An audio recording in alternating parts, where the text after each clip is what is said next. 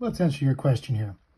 For your convenience, I put it into yards, although I really recommend that you stay in meters. Having said that, we're going to set out our basic parameters. This is a 5.56 caliber.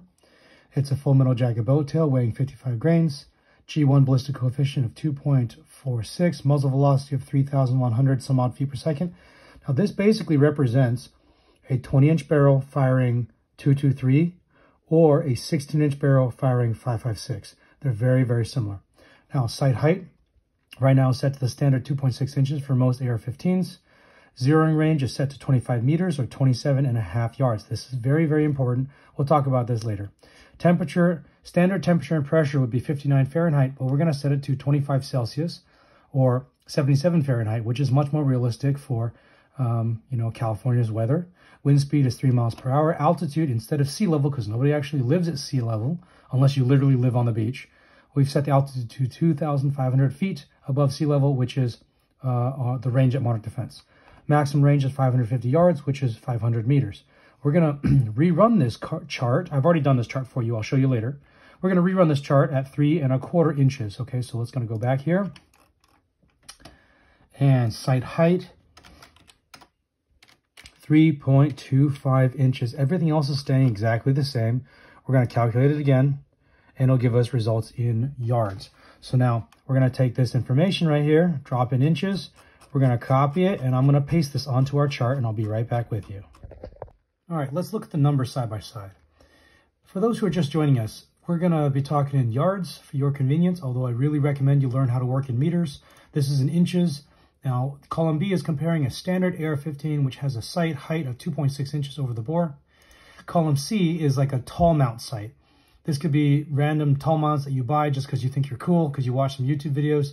In this case, this is for one specific student who's got a Galil Ace, which is really a Kalashnikov um, with an AR-15 set of heights on top, uh, set of sights on top of it, so that the sights are taller than what they should be. This could also could be things like SCAR 16. This could be Tavor X95. This could be a, a number of different guns that just have a tall sight.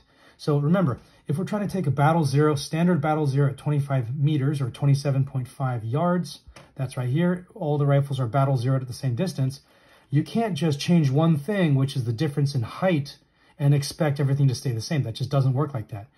So we'd have to rerun those numbers, but let's just lay out the problem first. The problem with having tall sights Okay, we zero them at the same distance, 25 meters. Let's scroll down. All right, all looks pretty good. We're at 75 meter, or 75 yards, I'm sorry. Uh, standard AR-15 is at uh, plus 3.8 inches, and your tall sights are at plus 4.9 inches. Not a big deal.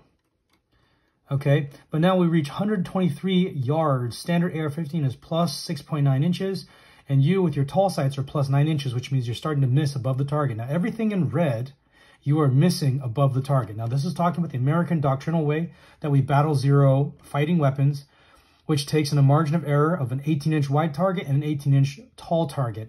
That basically means that we're going to be willing to miss anything up to 9 inches high, and we're willing to miss anything 9 inches low. Okay, so let's take a look here. From 123 yards starting, you're missing. Standard AR-15 is hitting. Standard AR-15 is hitting, you're missing, you're missing, you're missing, you're missing, you're missing. You're 12 inches high, you're 13 inches high, you're 14 inches high here. Apex, standard AR-15 Apex is at 9.2 inches. Okay, now you're still climbing, climbing, climbing, climbing, climbing. 14.2 inches high, you Apex. 14.2 inches high, again, because you have a tall mounted sight. If you zero it the same way, you're missing way high above the target. Of course, for the student that this is built for, this chart, specifically rail, you saw that your hits were high at 100 yards or 100 meters. You saw that in person, right? Now, let's continue. You're still missing, you're still missing, you're still missing, you're still missing, you're still missing. AR-15, standard AR-15 is back to, it's not just AR-15. it's just 2.6 inches above the bore. Your sights is above the bore by 2.6 inches. Now, um, tall mount sights, we're now starting to hit the target again. You're at 378 yards. Everything from 123 to 378 yards you've missed over the top of the target. So now you're hitting, okay, standard AR-15 is at FAR 0. FAR 0, which is at 384 yards, again, about mm, 345 meters, something like that. Again, we're, we're learning uh, a set of standard numbers. This is equivalent to a 20-inch barrel with five, I'm sorry, 20-inch barrel with 55 grain 223 pressure or 16 inch barrel with 55 grain full military pressure 5.56 millimeter ammo. Okay, tall sights. You're hitting the target again. You're hitting the target. You're hitting the target. You're hitting the target. Okay, see the orange marks. We're at 444 yards or right at exactly 400 meters, 401 meters, 402 meters. AR-15 standard is back to its um, limit of point blank range. Okay, meaning the, the distance at which you can just look, aim, point, and shoot, hit the target. Now your tall sights, you're coming back down to your far zero at 450 yards. And then you're going to drop down, drop down, drop down, drop down, drop down to your limit of point blank range at negative nine inches. So in other words, rather than setting up a 330 meter, 350 meter far zero, you've set up a 450 meter far zero. Sounds great, right? Well, no, not exactly. Let's look over here. So I've graphed this out um, so you can see it visually. The yellow line represents plus nine inches. So nine inches above where you're aiming. You're aiming here at the zero, where it says zero. This is the middle of the target. So at the muzzle, you aim at zero. Of course, you're going to hit about three inches low. Now, 25 meters, you're both, both rifles are zeroed properly, but you can see these are the same bullets, same exact trajectory. We've just taken one and just pointed it super high up in the air by simply making, making a 0.7 inch change in how tall the sights are in the beginning. But you see that makes such a big difference. So anything above this yellow line, you are missing, all right? So all this space right here, you're missing the target, you're missing above the target. Now, of course, here you're hitting the target again, so you're not going to notice a difference. Now, if we look at the far zeros, we have, this is 400 yards, so 380 yard far zero and a 450 yard far zero. Basically, when we're talking about, I'm sorry, yeah, 450 yard far zero when we're looking at uh, different zeros, when we look at battle zero, where we're trying to optimize that you can point, aim, shoot, and everything is going to be between the yellow line and the green line. If it's between yellow and green, we're going to be hitting the target, which is called man-sized target. We're going to make an assumption that's 18 inches wide, 18 inches tall. So that means we're willing to accept 9 inches left, 9 inches right because of the wind, and we're able to accept 9 inches high, 9 inches low because of how you zero it. And so you can see with the 3.25 inch height, height over bore with the red line. It is unacceptable to zero this weapon the same way at 25 meters and expect positive results. You're just not going to be hitting the target. All right, so let's show you the solution. Starting back at the ballistic calculator, what I've done now is I've taken our zeroing range and I've made it the exact same far zero. Notice, notice earlier we're talking about near zeros.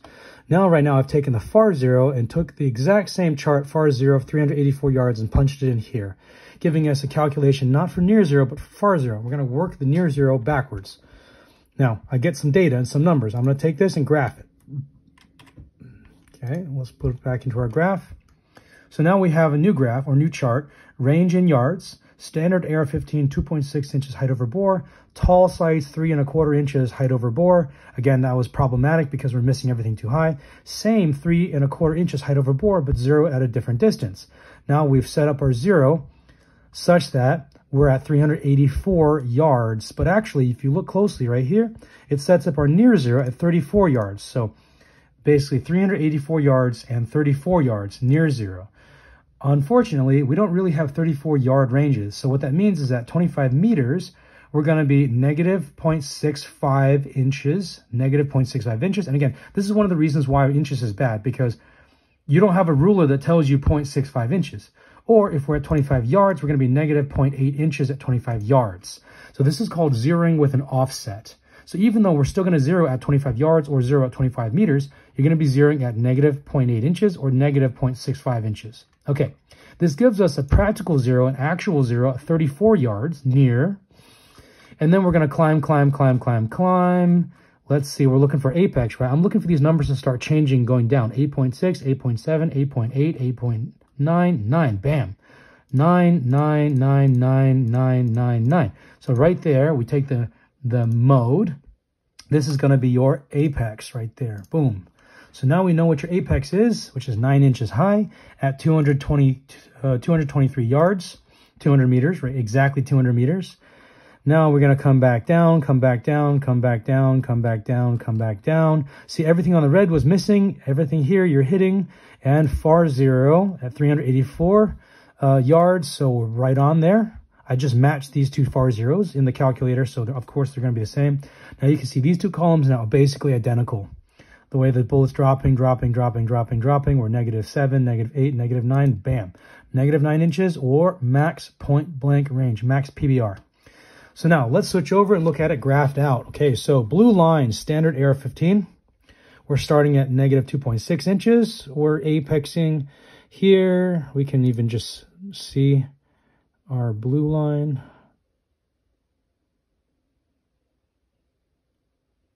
Right, so uh, hard to hard to get the right chart. Tell me what to do. Okay, cool. Here it is. Um, 9.2 inches. We're apexed out at 225 yards. Now, red is, of course, the problematic zero. The arch is too big. We're missing all this stuff above the green line we're missing. But uh, let's look at the yellow line, right? Yellow line, you can see far zero is identical. Near zero is not identical, but very close. And trajectory max point blank range is perfect, spot on. So you can see these, these trajectory charts are, are almost identical. And this is called zeroing with an offset. So in other words, we're taking that 25 meter zero and we're going to reduce it by the height difference between your um, the height of your sights. So I'm, you know, this is for reveal. Obviously, this video is for everybody. Everybody can benefit from this, but specifically addressing one student's question because he had difficulty just uh, yesterday or two days ago with this, or yesterday with this. Um, we're going to take the zeroing distance, 25 meters, right? and you're going to offset and reduce by 0.65 inches. 0.65 inches. So let's run some quick numbers in that. That way you know in minutes of angle how much you need to reduce. Well, if we run a calculator, let me open a calculator. Okay. Slow computer. Just bear with me. We need to go 0.65 inches Okay. Now let's convert this into centimeters because we're working in uh, meters right now for 25 meters. So at 0.65 inches multiplied by 2.54, that gives us centimeters. So we need to be 1.65 centimeters low at 25 meters. Okay, so this is the secret right here. 1.65 centimeters low at 25 meters B, Z, O. Okay, now 1.65 centimeters. Let's convert that to minutes of angle. So four times the distance, four times the distance. This is centimeters at um, 100 meters, be 6.6. We're going to divide this by 2.91. This is going to give us minutes of angle. So we're going to be 2.27 minutes of angle that we need to come down. Okay, 2.27 minutes of angle. So, of course, this is equal to 2.27 minutes of angle. Whoopsies. I started drawing a formula here. We're going to get rid of this here. Equal. 2.27 minutes of angle. Minutes of angle. Okay, so we need to go negative 2.27 minutes of angle. Of course, this rounds to, we can't do 2.27, but this rounds to 2.25 MOA, right? So depending on your scope, if you have a quarter MOA click, this would be four, eight, nine clicks down.